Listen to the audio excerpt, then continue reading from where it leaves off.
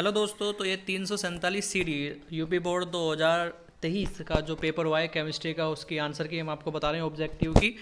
तो जो आपका पहला क्वेश्चन है शुद्ध जल की मोललता क्या होती है?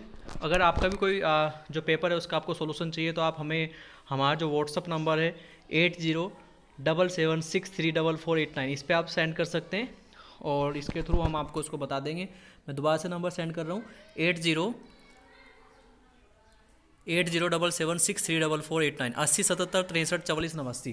तो पहले का जो आंसर होगा यहाँ पे दोस्तों, वो होगा सॉरी ये सेकंड वाला।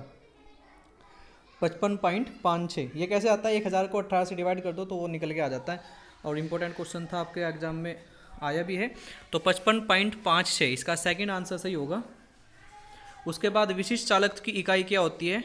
तो विशिष्ट चालक की जो इकाई होती है, वो होती है सेंटीमीटर इनवर्स ओम इनवर्स उसके बाद अधिकतम संख्या में यौगिक कौन बनाता है?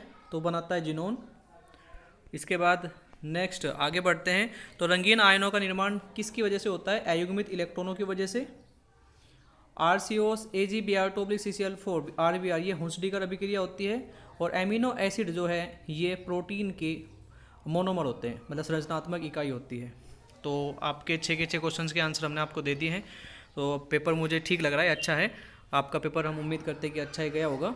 तो ये आपके ऑब्जेक्टिव के आंसर्स थे, जो आपको देखने थे। आप ज़रूर बताइए कि आपके इनमें से कितने सही हुए। अगर आप चैनल पर नए हैं तो चैनल को प्लीज़ सब्सक्राइब कर लीजिए। ट्वेल्थ के बाद आपको किस किस कोर्स में जाना है, उस सब की हमने प्लेलिस्ट में एक वीडियोस बनाई गई हैं। आप प्लेलिस्ट में जाकर देख सकते हैं, ट्वेल्थ के बाद क्या करें। हर एक कोर्स के बारे में डिटेल में बताया गया है। आपकी जो भी क्वारी होगी, हम उसके बारे में आपको बताएँगे।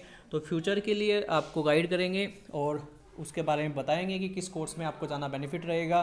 और कौन सी ब्रांच में आपको एडमिशन लेना चाहिए तो सब कुछ बताया जाएगा तो इसलिए चैनल को अभी जल्दी से सब्सक्राइब कर लीजिए। धन्यवाद, नमस्कार, जय हिंद, जय भारत।